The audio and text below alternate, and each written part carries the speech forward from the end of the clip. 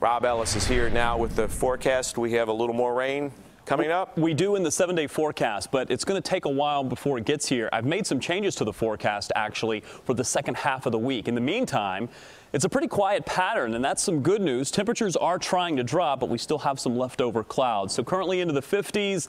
Looking back to the west, we see some low 50s, even a few upper 40s that may pop up overnight, and that's going to take the clouds to move out before we get there. And I do think that that'll happen overnight. We'll move all of this out of here so that by tomorrow, your forecast is for mostly clear skies. That will happen tonight, and I'm going to put 48 for the overnight low. A little bit of a southwest wind here, but it's not going to really change very much. Here's how it looks on Futurecast as I step out of the way because I want you to see that tomorrow morning it's quiet, clear skies all the way through the afternoon, and we carry that over into Tuesday as well. So really the first half of this week is pretty uneventful. Lots of sunshine, temperatures a little bit below the average, but for the most part it's a pretty nice forecast. Sunny, a little bit more fall-like, temperature of 66 for tomorrow. Tuesday we go up to 67. More sunshine is there. But if you were watching yesterday, and I know you were, I was talking about this big change that's coming at the end of the week, and I said between Thursday and Friday, we'd see the temperatures drop from the 70s down into the 40s. Well, look at this. I've made an adjustment here.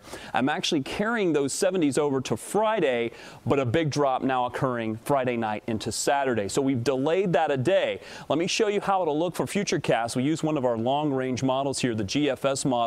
Shows it staying in the mid-60s. We do that again as we head into Tuesday. By the time we get into Wednesday, potentially getting very close to 70.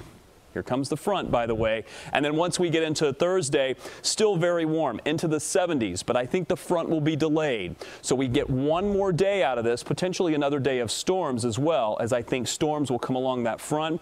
And look at the temperature change. It could get close to 70 ahead of this, much colder back behind it, and then the cooler air moves in, and by Saturday morning, we're talking about temperatures into the 30s.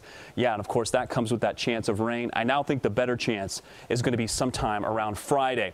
Take a look at the seven day forecast. Notice I've put that rain chance in there for not just Thursday, but also Friday, and that's going to kind of change the way the temperatures stack up. I still think we'll be able to stay very warm for Thursday and Friday, but it is going to feel much cooler for Saturday and Sunday.